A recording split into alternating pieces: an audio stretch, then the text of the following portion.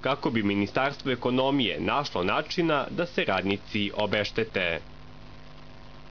Sve podatke odbornicima u ukupno 20 gradova u Srbiji građani će moći da vidi to preko mobilne aplikacije, a za mesec dana i na zvaničnom web portalu pod nazivom Moj odbornik. Korišćenje usluga je besplatno, a građani će putem njega moći da pitaju političare koji se nalaze na javnim funkcijama, kažu u organizaciji civilnog društva Proaktiv u Nišu. Iako zamišljen da spoji građane i političare, sajt Moj odbornik nije naišao na veliki odziv. Osnovne podatke o odbornicima u 20 gradova i opština u Srbiji dalo je samo 14. Interesant podatak je da od, od, da od Niša, Beograda, Kragujevca, Vranja, Leskovca i Prokuplja nismo dobili tražene informacije.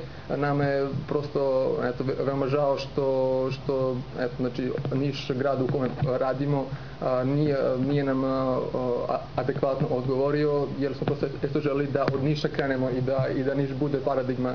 Za sada je pregled političara koji se nalaze na javnim funkcijama moguće vidjeti samo preko mobilne aplikacije, a od narednog meseca biće dostupan i kao web portal.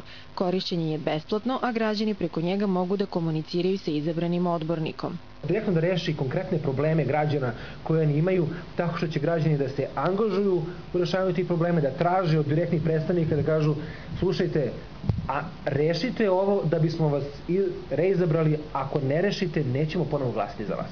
Dakle, to je jedna odgovornost koja se očekuje od, od političara prema građanima, ali i odgovornost građana za sobstvene, za sobstveno, sobstvene probleme i za njihovo rešavanje.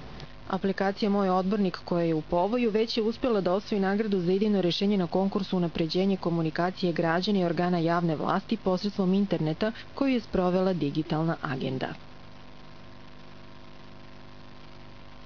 Naše loše navike, nažalost, preko 100.000 dinara